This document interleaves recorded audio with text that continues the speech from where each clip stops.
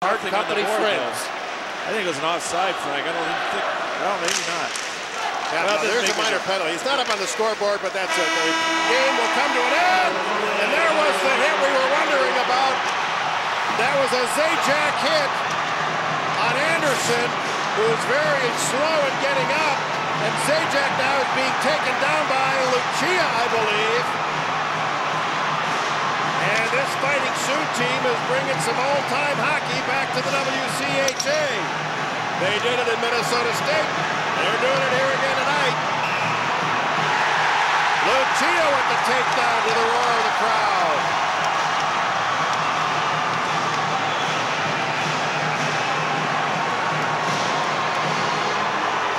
And Peltier about the only two players who stepped in to defend manhood and their teams here tonight. Peltier out, and Lucia came to the aid of R.J. Anderson. Tony wants some friends here in this arena that were around here. I'll tell you that.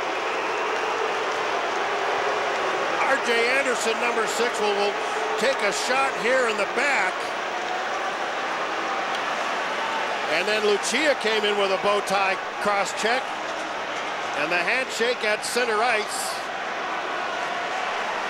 More of a symbolic thing than real earnest feelings there. I'll guarantee oh, you. Oh, I was. Well, we're going to go some more. It's Finley and And Wheeler, Finley and Wheeler.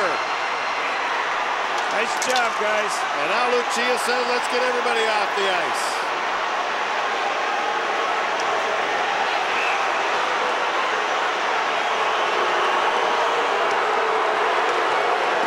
And the debris rains down from the stands.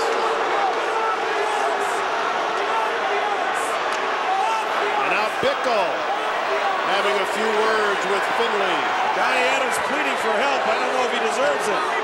You're exactly right there, too. Bickle was willing to go.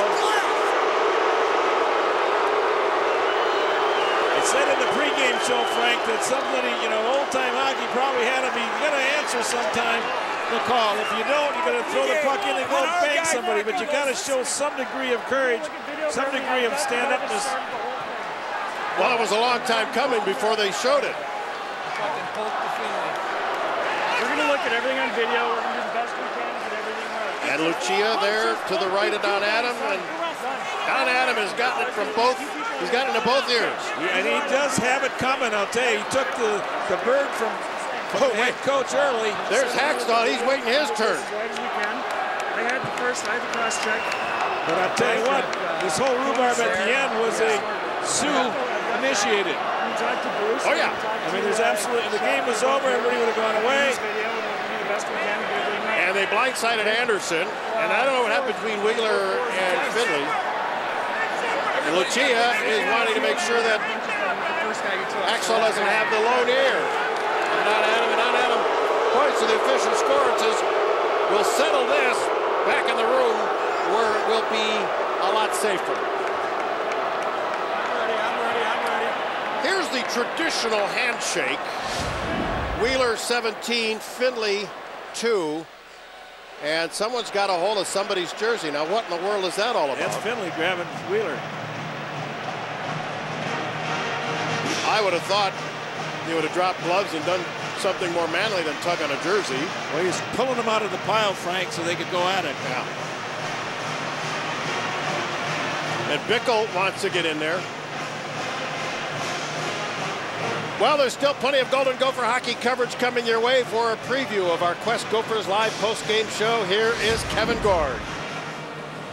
Well, we can only hope that